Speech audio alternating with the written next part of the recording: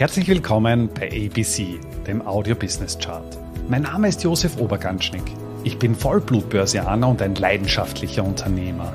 Als Gründer von Ecobono habe ich es mir zur Aufgabe gemacht, das Thema Finanzbildung in die Breite zu bringen und so Deutschland und Österreich aus dem Aktien- und Dornröschenschlaf zu befreien. Bei ABC, ein Podcast aus dem Podcast-Netzwerk von audiocd.at, stelle ich deswegen Woche für Woche spannende Zahlen und Statistiken aus den Bereichen Finanzmarkt, Wirtschaft und Gesellschaft vor. Heute möchte ich mich mit der Frage beschäftigen, wie lange dauert es, bis du dein Geld verdoppelst. Das hängt natürlich ganz wesentlich von der Performance ab. Das menschliche Gehirn ist aber so gestoniert, dass wir absolute Probleme haben, den Zinseszinseffekt auch wirklich realistisch einzuschätzen. Wenn du beispielsweise 7% pro Jahr verdienst und du dein Geld verdoppeln müsstest, bräuchtest du ungefähr 15 Jahre. Also 15 mal 7 wäre 105 Prozent. Es dauert natürlich jetzt keine 15 Jahre, sondern deutlich weniger, weil du als Investor auch von den sogenannten Zinseszinseffekt profitierst. Das bedeutet, wenn du im ersten Jahr 100 Euro anlegst und das mit 7% veranlagt hast, das heißt eine Performance von 7% erwirtschaftest, hast du nach einem Jahr bereits 107 Euro. Und im darauffolgenden Jahr wird dein Ertrag jetzt nicht mehr 7 Euro betragen, sondern eben 7% von die 107, weil ja dein Kapitalstock schon angehoben ist. Insofern ist es so, dass der Zinseszinseffekt im Laufe der Zeit einfach so richtig zum Greifen anfängt und sich dann doch deutlich von einer einfach hochgerechneten Performance unterscheidet. Stellt sich nur die Frage, wie kann ich das grob abschätzen? Also einerseits performancemäßig beziehungsweise auch Dauer von Jahren, um da ungefähr ein Gefühl zu bekommen, wie lange es dauert, bis ich mein Geld an den Wertpapierbörsen dieser Welt verdoppeln kann. Und hier hat mir eine sehr einfache Regel wertvolle Dienste erwiesen, und zwar ist das die sogenannte Rule of 72.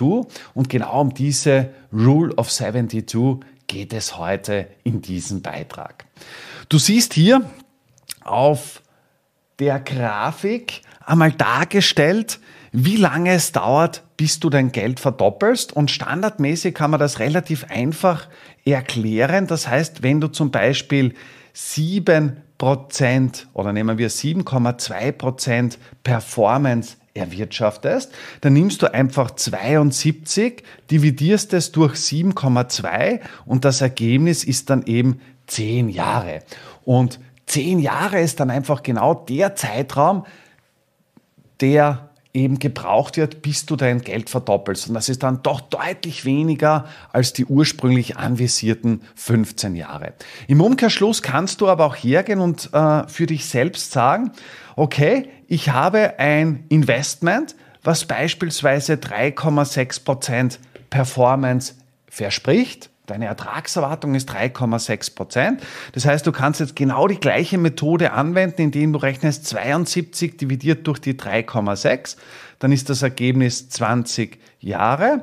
Das heißt, du benötigst 20 Jahre, bis du dein Geld verdoppelst. Das heißt, es ist schon einmal ein doch deutlich, deutlich größerer Sprung. Oder aber du kannst sagen, okay, pass auf, ich habe 100 Euro, möchte 200 Euro draus machen und gebe mir für eine Verdoppelung beispielsweise fünf Jahre Zeit, fünf Jahre bis zu einer Verdoppelung, dann gehst du einfach her und rechnest 72 dividiert durch 5 und als Ergebnis äh, bekommst du dann die Anzahl oder die, den Prozentsatz, den du benötigst, damit du eben in fünf Jahren dein Geld verdoppelst. Und das sind an und für sich relativ gute, gute Richtlinien. Schauen wir uns jetzt einmal an, wie das in der Vergangenheit funktioniert hat, beziehungsweise wo wir hier liegen.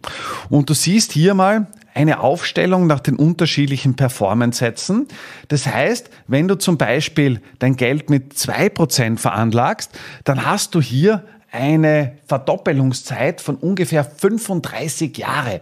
Das heißt, das ist schon einmal extrem lang. Im Gegensatz dazu, wenn du zum Beispiel jetzt ein klassisches Aktieninvestment heranziehst und die klassischen Schätzungen liegen im Regelfall bei ungefähr, ungefähr 8%.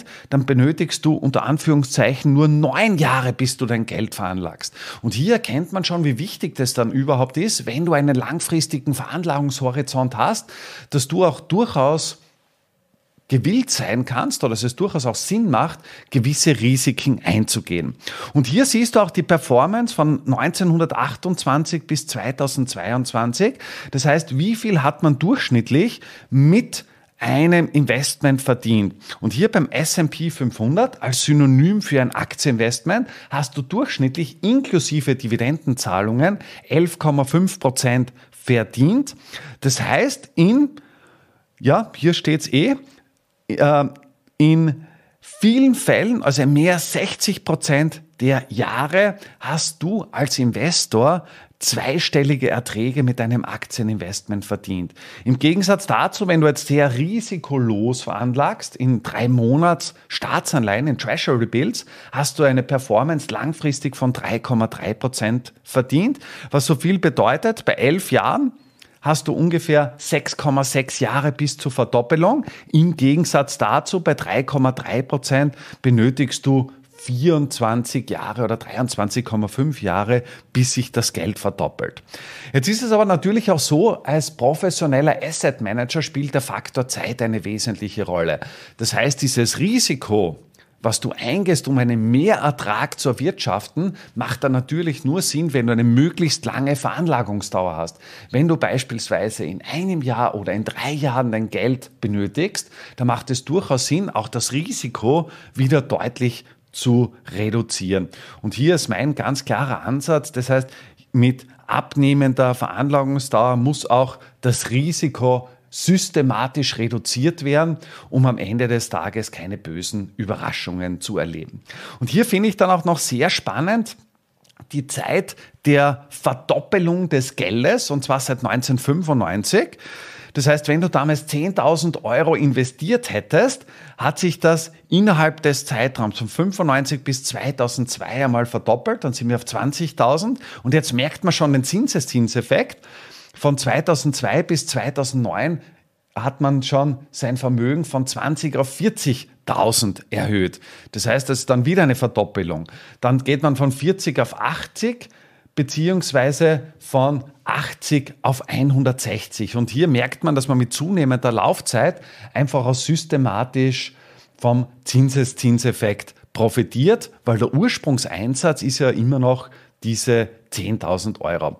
Hier muss man aber auch ganz klar festhalten, dass ähm, das auf Basis von durchschnittlichen Erträgen gerechnet wird. Das heißt, im Jahr 2002 und 2009 waren wir in ja sehr turbulenten Börsenphasen. 2002 waren wir mitten in der Internetblase. 2009 waren wir kurz nach dem Platzen der Lehman-Pleite und der globalen Finanzkrise.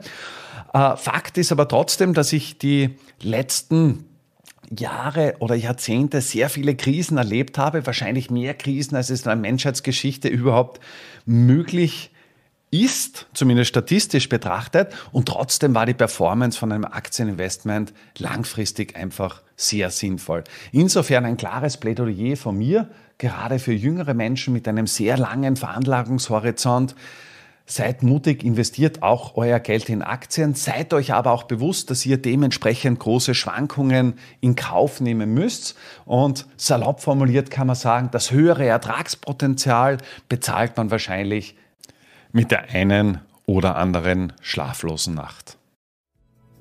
Damit sind wir auch schon am Ende der aktuellen Folge angelangt. Bei ABC, dem Audio Business Chart, werden Bilder zu Worten. Stay tuned und abonniere diesen Kanal. Ich wünsche dir eine schöne Zeit. Bis zum nächsten Mal bei ABC, dem Audio Business Chart. Servus und Baba.